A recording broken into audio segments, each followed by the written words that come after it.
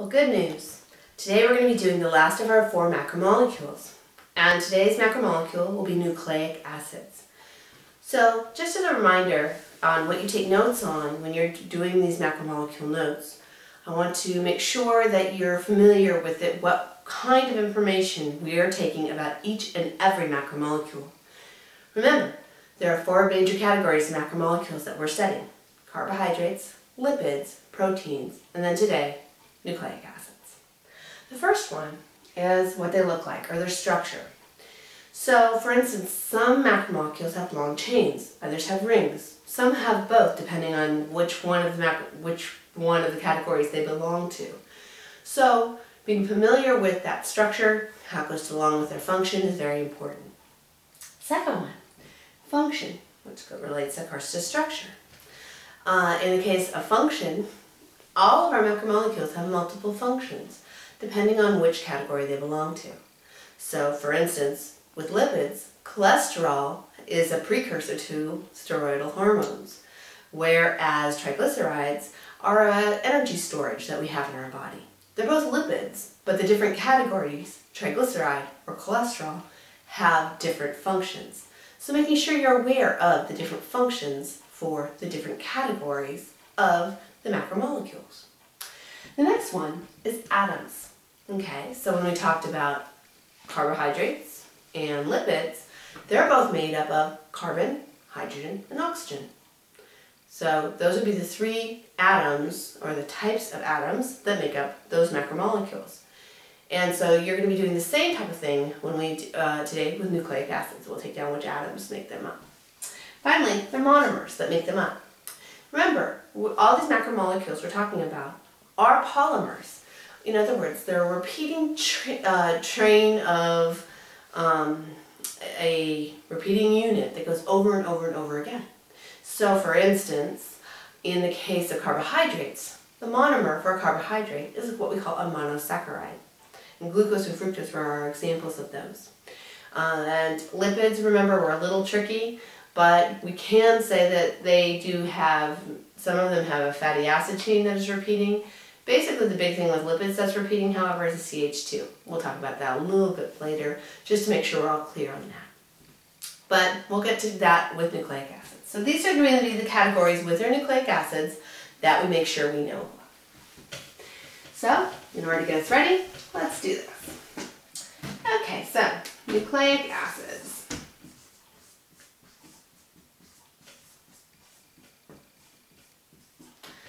Nucleic acids have what kind of structure? Well, the structure is that they have a chain, and that chain could either be a single chain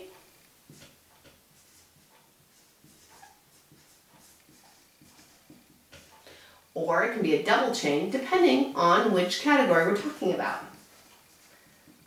Now, you guys have all heard of DNA one of our two nucleic acids that we work with. So there's two nucleic acids, one is DNA, one is RNA. DNA is our double chain here, double chain, and it stands for deoxyribonucleic acid. And the other one is RNA. RNA is a single chain and it stands for ribonucleic acid.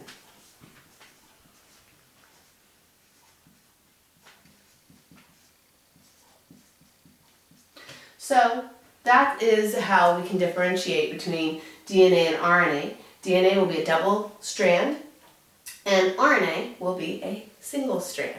So that's our, our nucleic acids, the two categories we have.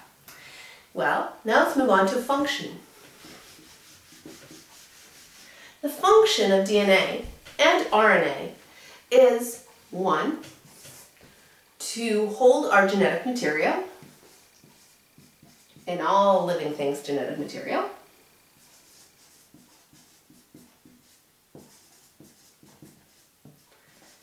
and in so, they, the DNA provides a blueprint for making proteins.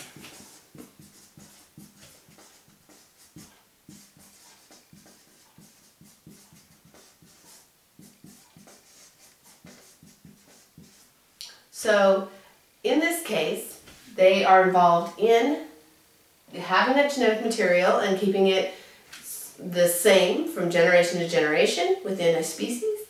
And then obviously there's small changes that are made um, and we'll get into all of that later. But then also this is a blueprint and how our proteins are made. Okay, and that's really this making of proteins is really key to what DNA and RNA do. So that's the function of nucleic acids. Okay, well let's move on to what atoms they're made of. The atoms that make up DNA are carbon, hydrogen, oxygen, okay, and then we have nitrogen and phosphorus. These, this combination, okay, so C-H-O-N-P, those are the atoms or elements that make up the DNA molecule. So the last category we're going to look at here is what is the monomer that makes up the polymer of DNA or RNA. The monomer. And our monomer for DNA is nucleotides. Nucleotides. Now, when we get into the genetics unit, we'll go into much more detail about the structure of nucleotides and really break them down, learn a lot more about how they hold together and how they are the puzzle pieces. But for today, just knowing that a long series of nucleotides is what makes up the monomer. Or monomer is the is the nucleotide, and the long chain is makes up the polymer, what we call DNA or RNA. So that's it for our nucleic acids, and we'll review all of this very soon.